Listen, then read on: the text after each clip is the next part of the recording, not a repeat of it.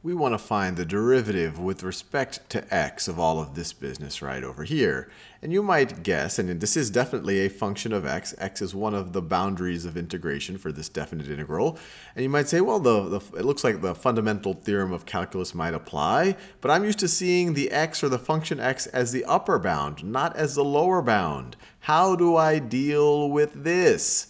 And the key realization is to realize what happens when you were if what happens when you switched bounds for a definite integral. And I'll do a little bit of an aside to review that. So if I'm taking the definite integral from a to b of f of of f of t dt, we know that this is capital F, the antiderivative of f evaluated at b minus the antiderivative of f evaluated at a. This is essentially from the this is corollary to the fundamental theorem, or it's the fundamental theorem part two, or the second fundamental theorem of calculus. This is how we this is how we evaluate definite integrals.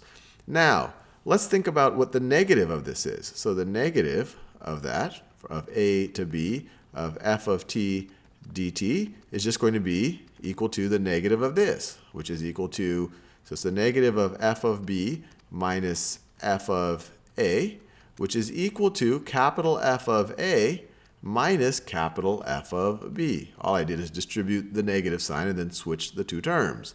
But this right over here is equal to the definite integral from, from instead of a to b, but from b to a, b to a of f of t, f of t dt. So notice, when you put a negative, that's just like switching the signs or switching the boundaries. Or if you switch the boundaries, they're the negatives of each other. So we can go back to our original problem.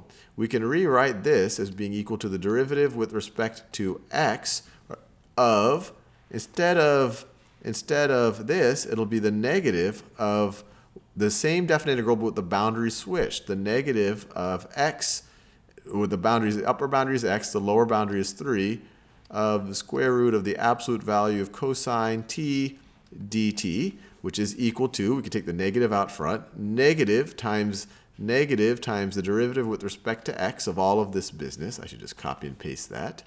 So I'll just copy and paste.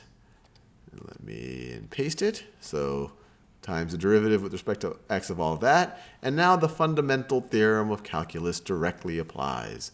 This is going to be equal to, we deserve a drum roll now, this is going to be equal to the negative, can't forget the negative, and the fundamental theorem of calculus tells us that that's just going to be this function as a function of x.